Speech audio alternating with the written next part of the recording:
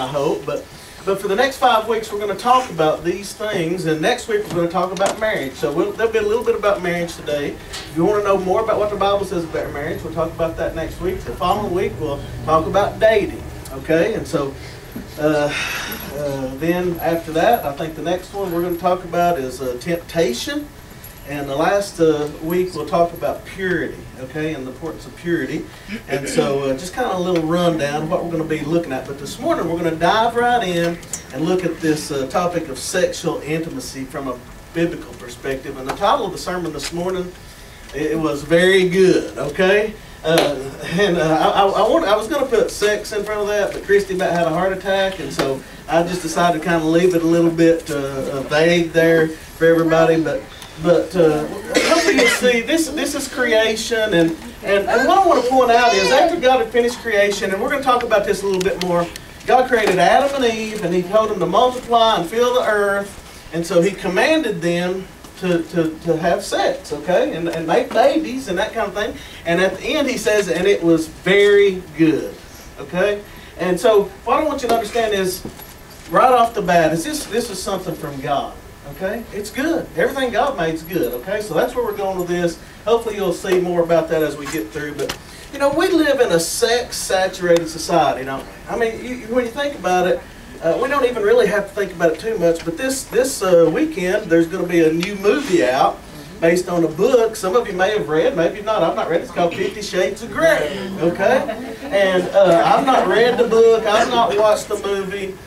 Uh, but, you know, I've heard a little bit about it, and, you know, uh, I know enough about it to know that uh, I think the way it's depicted is not God's way, okay? And so I think it's just a, one of those, another depiction of the failing morality, or the falling morality in our culture. Um, you know, the three-letter word sex is probably the most misunderstood word in our society, but we talk about it all the time. I mean, it's just a subject that comes up everywhere. You can turn on the TV. TVs and movies are filled with it. Um, you know, innuendo and content. Magazines feature sex appeal on the covers, both for men and women. The internet is absolutely covered with sex, commercials, and, and the porn industry boasts um, revenues of over $20 billion a year. Of close to $20 billion a year. That's more than professional football, baseball, basketball, all the teams combined. And so we've got a cultural problem. And so the church cannot be silent with this. And that's the reason we're doing this series. I think it's uh, uh, utterly very important for us to talk about this, okay? And so when we talk about when we talk about sexual intimacy, there's a few different perspectives. I want to talk about it psychologically just for a second so we kind of understand viewpoints. You know, everybody's going to have positive and negative experiences uh, from from sex, and you know, and that that's one of the appeals that's used to sell stuff. Uh, is the psychological factor. You know, they use sex to try to sell everything. But you know, beer, pharmaceuticals, cars. I mean, you see it all the time, don't you? And so then, sociologically, it's also affected. It's a driving force. You know, there's a lot of pressure. It pushes teens to to engage in sexual activity. It causes adults to, uh, you know, pursue uh, extramarital relationships, prostitution and escort services, and all these things that drives teens toward to, to premarital sex. And you know, and in a political world, you know, you you got the potential. A lot of times, it'll either make or break your career. You know. And uh, we, we've seen those kind of things just, just in news reports. But you know, the thing about it is sex is discussed in our schools, in our doctor's offices, in our public arenas. It's discussed in private gatherings. It's talked about everywhere but church. When you think about it, isn't it? And, um, you know, rarely discussed in, in church. We tend to just sweep it over in the corner. And what we're doing is we're letting society tell us what the standard is.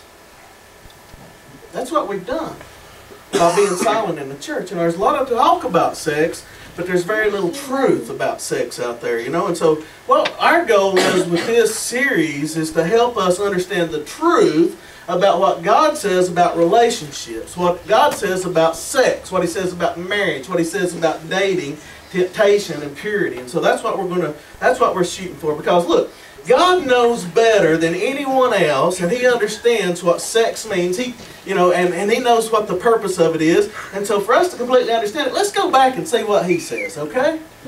So that's what we're trying to do. And uh, for us to, to begin having a little bit better understanding, I want us to look at a passage of Scripture. We're going to look at Genesis 1.27 later, but I want us to look at Romans chapter 12. We all make sure the air is turned on. Uh, it's, it's a little warm in here, so uh, all right, so in Romans chapter 12, uh, this is kind of a little uh, background, a little basis for us to get some foundation to understand some of the stuff we're talking about here today. Uh, Paul was writing to the Romans, and he, he gave them this passage in Romans chapter 12. He says, I, I appeal to you, or I beg you, or I beseech you, brothers, by the mercies of God. Look what he says, to present your bodies a living sacrifice, holy and acceptable to God, which is your spiritual act of worship. And he says, don't be conformed to this world. Don't be made just to look like everything else in the world, but be transformed. How? By the renewing or the renewal of your mind so that you can know, so that you can discern what the good and perfect and acceptable will of God is. Okay, that's what Romans chapter 12, 1 and 2 says. And so I want us to pay particular attention to a couple of phrases here. Number one, to present your bodies or to give your bodies to God. You see that?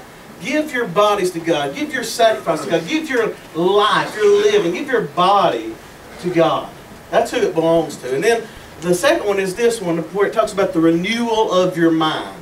And this is, we got to change the way we think in order to know what God's will is. Okay? And so these, these are important verses. These, these are really important verses for us as Christians uh, to understand. And, and, you know, so what I want you to understand here is we're talking about our bodies and we're talking about our minds. You see that? They're connected. Our bodies and minds are connected. And God created us that way. They work together. Y'all understand that, right? Uh, but, you know, when God created you, God created you as one with your body and your mind.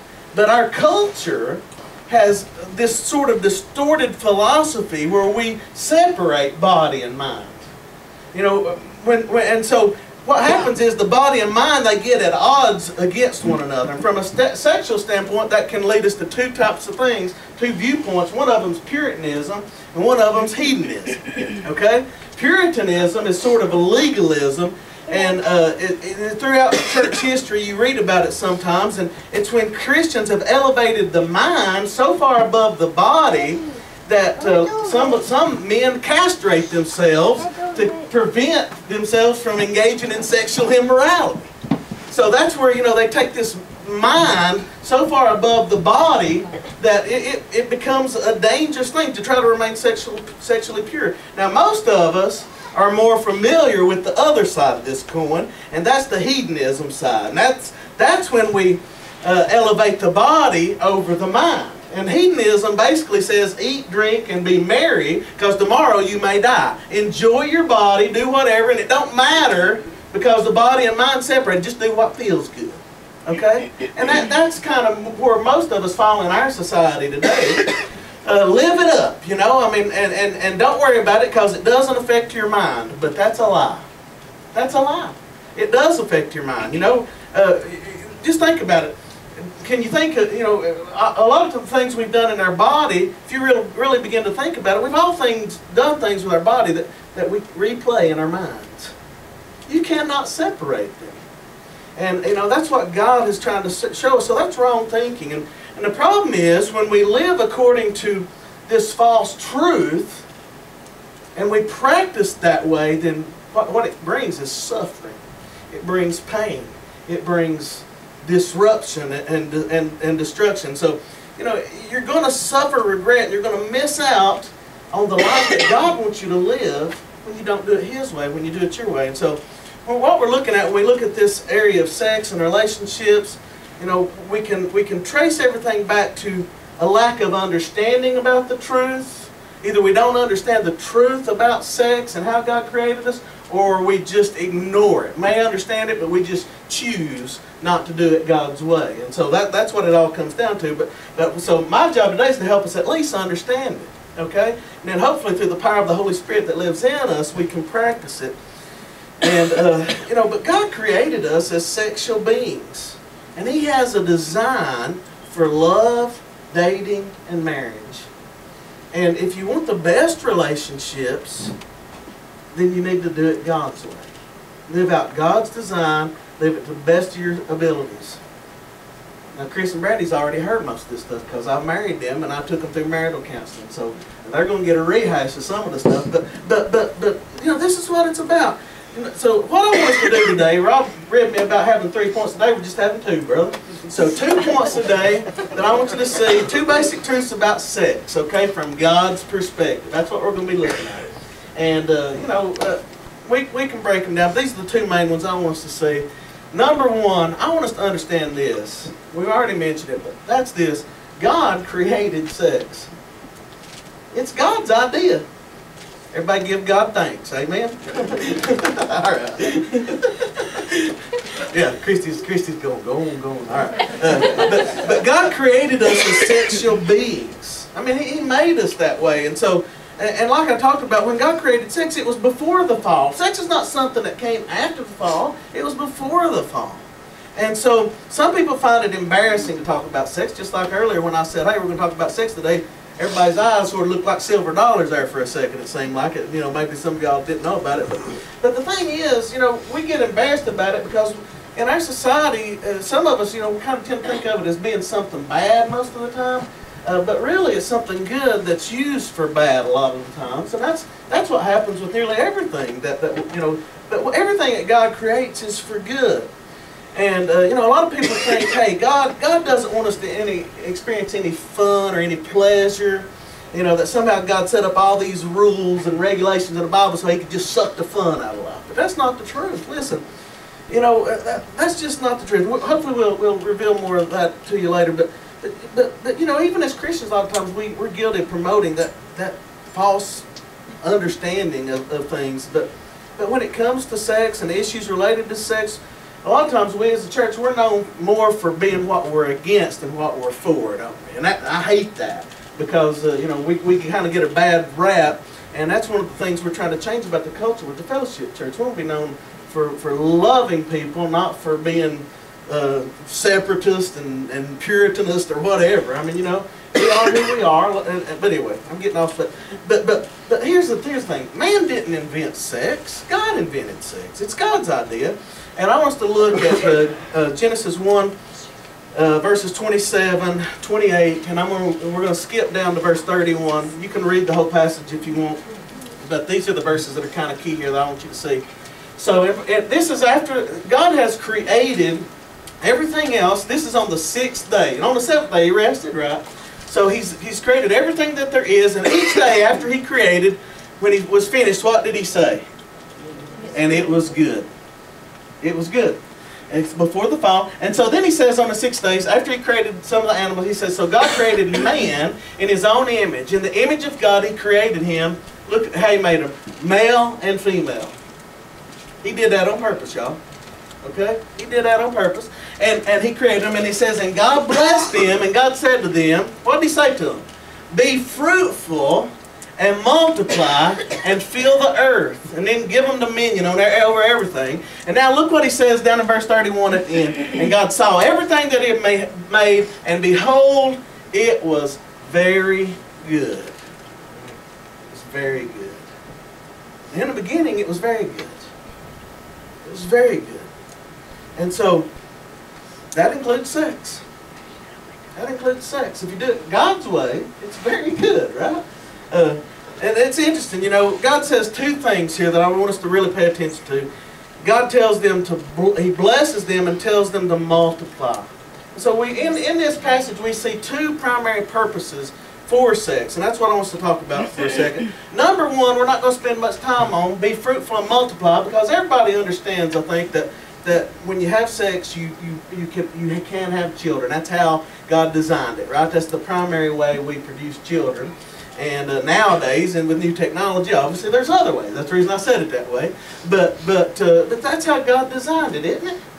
And so for procreation, God says, multiply and fill the earth. And uh, oh man, I could camp out here for a long time, but I'm not going to because I got to stay on track. But, uh, but Christians, those of you who love Jesus, have babies, please. You know, I'm just telling you, we, we need more Christian families in our world having babies. Somebody say amen. Amen. All right. All right. Now, if you want to know more about that, I, that's, that's after, okay? But the second purpose that we're going to talk about this morning is one we don't talk about much, and that's, that's pleasure. God created sex for pleasure. And so, um, we, we don't think of, of it that way maybe a lot, but, but God's just, let's think about this. God just created male and female.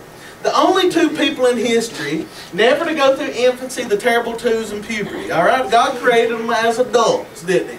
And uh, He he, uh, he tells them to multiply and procreate. We learned their names in chapter two. This this is all rehashed, and we learn that it's Adam and Eve, and He goes into more detail about the creation, how He took Eve from Adam, and all that.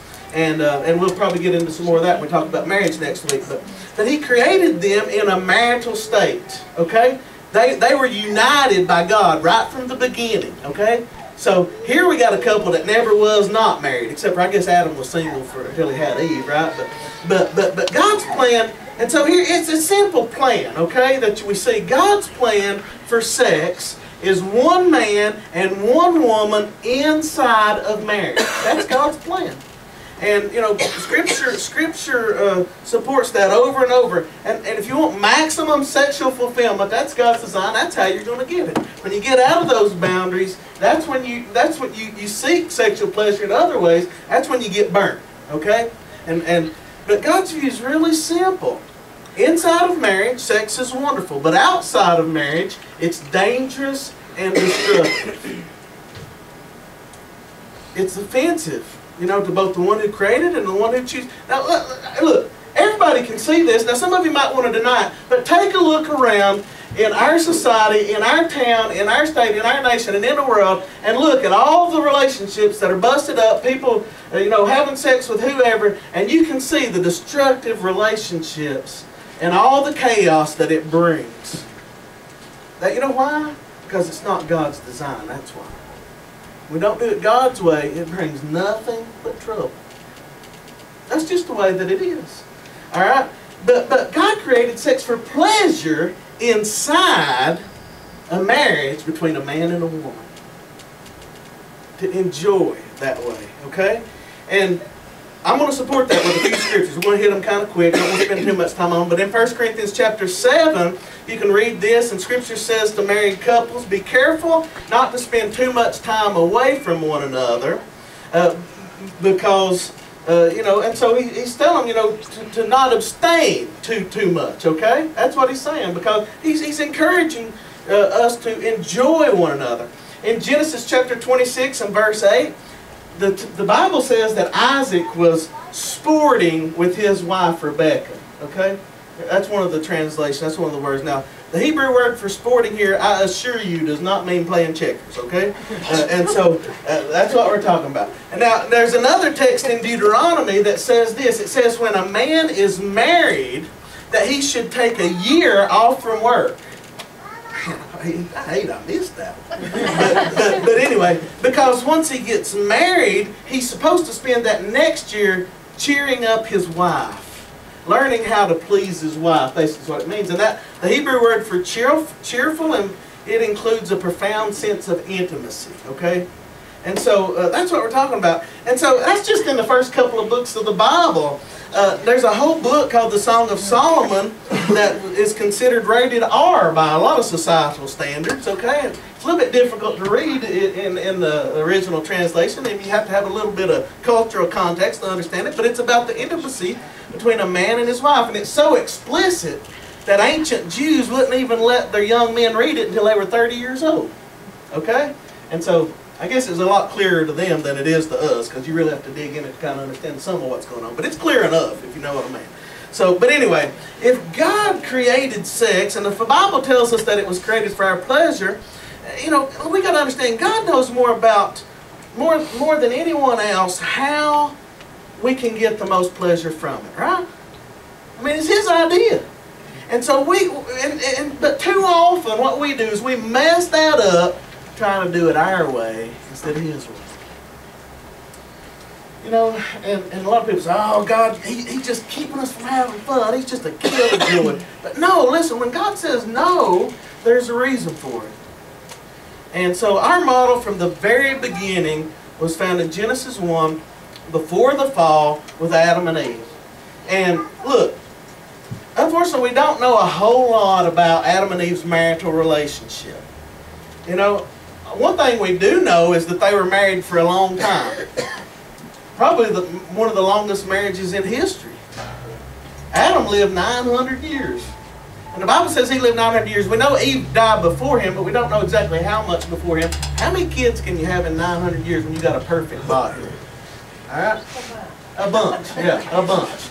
Uh, you know, and so when somebody says, hey, if Adam and Eve had Cain and Abel and Seth, where did where did Cain's wife come from? Or where well, the answer is Adam and Eve lived 900 years and they had a lot of babies, okay? So that these guys married their sisters, all right? And, and, and there wasn't any, there wasn't any, uh, yeah, there wasn't any, uh, what do you call it? Uh, incest back then. We weren't worried about the DNA back then. They, they had pretty much perfect bodies, you know. That's the way God designed it to start with. So that's the answer to that. But anyway, getting off subject again. But, but Adam and Eve were lifelong partners. And, and you know, they were placed in this perfect environment in the Garden of Eden. And uh, we know the story there. Since that time when Adam and Eve sinned, they, they grabbed that fruit and they pulled it down and they disobeyed God. Ever since that point, what we find is that, that uh, the rest of human history uh, has been, uh, been a, a, a decline in our values and in our morals. And, and that includes the area of sex. And it gets to the point in Romans chapter 1, when, when you read Romans chapter 1, Paul's writing, and it says that God gave them over to the sinful desires of their heart, to sexual impurity and the degrading of their bodies for one another, men going after men, women going after women, and all these other things. That's what Romans 1 says. And it's just the epitome of sexual immorality. And that's what happens when we leave God completely out of our lives we don't go God's way. In our day, we tend to worship the body. And when we do sex our way, that's what we're doing. We're worshiping ourselves, we're worshiping our body instead of worshiping God, the creator of the body. And that's what Romans 1 1's talking about. Worshipping created things rather than the creator. Only the creator is worthy of worship. And so we need to focus on him. And so from the Garden of Eden until now, we've devalued sexual intimacy. And we don't do it God's way, that's what we do. God created sex and it was good, but we've disvalued it. We've disvalued it. So we got to elevate it. And that's point number two. God created sex and God elevates sex. You see, we think we're taking sex to another level, but what we're really doing is bringing it down. God's way is the highway. You know what I'm saying? You follow me? God elevates sex. We've lowered it, but God elevates it. So, you know, God holds sex to a higher standard than what we do. And, um, you know, every when God talks about sex in the Scripture, He places sex alongside of love. Okay? Y'all understand that? It's alongside of love, inside the marital context. Love and sex are God's idea. He brought them together, and God created us in a way where we, we would desire that. We would want that loving relationship. He created us as emotional beings. Uh, and emotions are good. God used those to bring us to Himself and, and to bring us close to others. And, and, and, you know, and, and this, is this, when we think about this, this comes in contradiction with Darwinian theory and evolution. Okay? Because when you think from the evolutionary aspect, you know, ultimately, you know, the evolutionary aspect says you've got to have sex and, and propagate the species, you know, further the species. And if you look at how we're created, we understand, you know, that as humans we're both sexual and we're emotional, so there's sex and love. It just don't make any sense in evolution. Why do we need the love? You know, if all you're doing is trying to trying to have more and more babies to keep the species alive, love don't make any sense. You know, but it makes sense with creation and with God. Because that's who God is and that's how He designed us. And God designed both. God created us both as a body and a mind. And, and, and in a sense, you know, God elevates sex over this philosophy of our day to just live however you want to and do whatever you want to. And you know, when we see Adam and Eve in the garden pulling down the fruit, devaluing God's law, and that's what we do when we when we devalue God's law. It's, there's a metaphor there. You know, we tend to think as humans, you know, whatever God elevates, we tend to lower it. And we've done that with, with sexual intimacy. And, you know, a lot of times we, we devalue the truth of God. I mean, you know, um, have you ever heard anybody tell a dirty joke? Everybody's heard a dirty joke, right? And, and, and, and if you ever responded in this way, get your mind out of the gutter. Y'all heard that, right? Get your mind out of the gutter. Your mama's probably told you that before, right? Uh, but, but, you know, that's what we say to them. And so when you think about it, that's what we do is we devalue stuff. You know, we think of it as being in the gutter, and God, God's idea is elevated. You know, and and what we do is we take, we have to take God's view, and um, but we tend to elevate instead of ele elevating God's view. We'll elevate the body over the mind, or the mind over the body, and that leads us to justify our actions, don't we? That's what we do. But, you know, it's okay because, you know, because of this, and we begin to justify things. Oh, well, you know, it, will it, be all right, you know. Uh, we're planning on getting married anyway, or, or, uh, or, or, you know, well, I'm not going to go anywhere else. Y'all, y'all know what I'm saying. Um, you know, it, we do it with pornography. Hey, you know, it's just in my mind. It doesn't affect my marriage. It doesn't affect my relationships. Uh, it, you know, and we rationalize ourselves to make it okay for us to have casual sex, premarital sex, what pornography, and all these things, and uh, it's just a lie from hell. It does mess with your mind. It messes with your relationships, and it's destructive is what it is. And we know it is because we've seen it. But yet, so often, we'll continue to participate in it. So we, you know, we lower the view of the mind, and we do that, we can rationalize just about anything. And you know, we fall in all kinds of traps where we engage in all kinds of sexual immorality. And so here's what we need to do. Instead of devaluing the design of God, we need to embrace God's design. Embrace it. Just say, you know what, God? You're the creator. Your ways are far and above my ways. And I'm stupid anyway. I need to just follow your way. Because then I know at least, and you know what happens when we do that is we'll be blessed.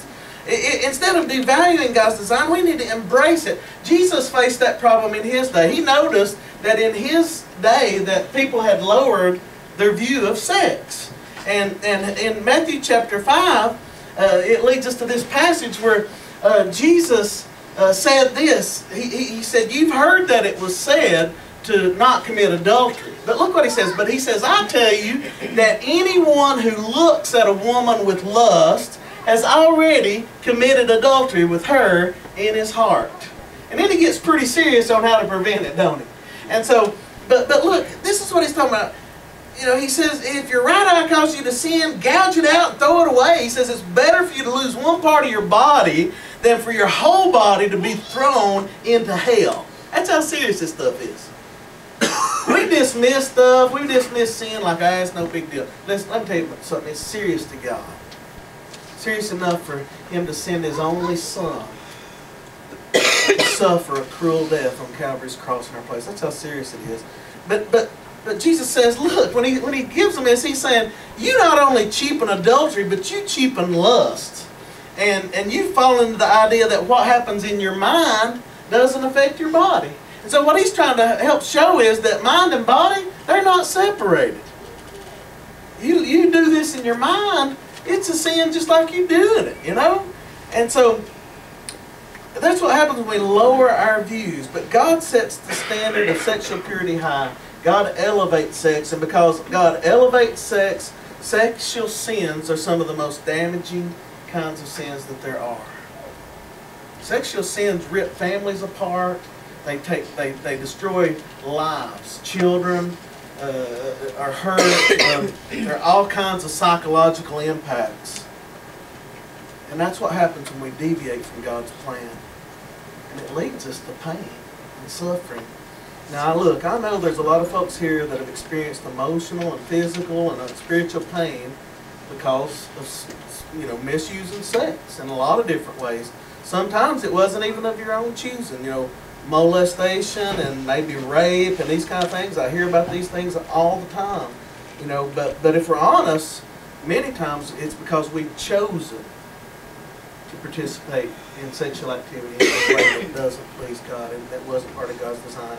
And a lot of you guys ha- ha- have done that, and you know we have too. I mean, the pain of pornography, the, the pain of homosexual experimentation, multiple partners, you know, uh, out, any kind of sex outside the marriage between a man and a woman is going to get you in trouble. It, it, it, you know, but here's the thing. I want you to understand. You know, the unfortunate news is we can't go back and undo what we've done. You know, there's just no way to do that. But what, what you can do is you can find forgiveness. You can be forgiven. You can find freedom from past sin. You don't get a do-over, but you can get a restart. You know what I'm saying? You get a restart. You start today living and doing it God's way. Okay? And and and and you know we're going to include you, you know, because because God's going to include you. You know, uh, we're going to try to love you. Be- You can from this day forward begin to give God your best. 1 Corinthians six verse eighteen. This is what Paul told the Corinthians. He said, "Flee from sexual immorality." Look what he says. He says, "Every other sin a person commits is outside the body." But the sexually immoral person sins against his own body. And look what he says. Do you not know that your body is a temple of the Holy Spirit within you, whom you have from God? You're not your own, for you're bought with a price. Glorify God with your body. Glorify God with your body. So he's talking about sexual immorality here in particular. And you know, our body as believers is the temple of the Holy Spirit. The Holy Spirit of God resides in us. And the Holy Spirit's a gift from God. You're no longer your own. Paul told the Galatians in chapter 10, verse 20, he says, he says, I, I don't even, I'm not even living my life anymore. It's Christ that lives in me. He says, I've died, but Christ lives in me. So that's who we are as believers. We're no longer our own. We've been bought by the blood of Jesus. So we need to use our bodies to honor God. And today you can make that decision. You know, you can say, from this point forward, God, I'm going to honor you. I'm going to make a decision with my mind to honor you with my body. You know? When you determine to live your life according to God's plan, you can get God's blessing. You know? When we think about sex, uh, you know, a lot of times in our society, there's a lot of words used that, uh, to describe sex that describe uh, that also describe fire. So I'll give you a little illustration. You know, your you know your hormones rage out of control, like a fire raging out of control. Y'all, you have burning passion. You know, and and and sex is a, a lot like fire when you think about it. You know, I mean, fire when it's under control can serve a great purpose. You know, you can heat a home, you can light a room, you can cook food. But when you let fire burn out of control, it destroys everything in your path. Listen to me for a second. How many of you are going to go home, build you a little fire in the middle of your living room and heat it up on the floor? Nobody's going to do that. You know why? It'll burn your house down. And you got to put that fire in the fireplace or in the wood stove or somewhere where you can contain it, don't you? Same way with sex. If it's not in a marriage between a man and a woman, it'll get out of control and it'll burn your house down. That's that's the illustration. That's God's design. And you know, you know, you can. And so this morning, I want you to understand: you have a choice. You can live your sex life apart from God, you can leave a wake of destruction in your path, or you can choose to live that life God's way, the way He created it, and you'll find that God will bless you. And so, if you want a blessed, blessed life and a blessed sex life, do it God's way. And, and God's way is very simple, right? Get it from Genesis 1. Go back to Genesis 1 there, Lexi, please. You know, well, excuse me, let's go to Matthew chapter 19 because Jesus quotes that there. Did I have that one up there, Matthew 19? Mm-hmm. Yeah, there we go. Have you not read that he who created them from the beginning, he made them? How did he make them? Say it with me. male and female. He created them. And he said, Therefore, a man shall leave his father and his mother and cleave. Cleave, I like saying cleave because Anyway, we'll talk about that maybe some more next week. He'll hold fast, be glued to his wife, and the two shall become one flesh. So they're no longer two, but one flesh. And what God has joined together, what does it say? Let not man separate. When God brings you together, don't let anybody separate you, you know? And, and so, but, but God's way is simple. One man, one woman, fully committed to each other inside the bond of matrimony, marriage. And that's where you're going to find max, maximum sexual fulfillment, okay? And, and so the issue becomes, you know, are you going to surrender to God? Are you going to surrender to His way? And so some of you here this morning, as we get ready, you know, for a time of response, I, I just want to, I want to, I want to ask you. Some of you may hear, maybe you've been in a battle with God. You, maybe you've been running from God, and uh, you've been away from God. Maybe today's the first time you've been to church in a long time. But, but, but you want God's best for your life. I mean, I'm, everybody wants God's best for their life, don't they? Uh, you know, you want God's best because the pain, maybe the pain of living outside of God's best is, has gotten too much to bear. Let me ask you something. Why, why don't you surrender your life to God this morning? Why don't you stop trying to do things your way and give your life to Jesus today? Stop trying to do it your way and do it His way. Simply say, God, I'm going to follow you. From this day forward, I'm going to do things your way. All right, let's do that this morning. Father, we come before you right now. We thank you for who you are. Lord, we pray that you'd help us today to walk in your ways. Forget our own, to surrender to you in faith and to, and to follow you. We ask it in Jesus' name. Amen. God speaking to your heart. Come on, let's get on our knees before God. Let's give, give our life to Him. Let's start living from this day forward His way.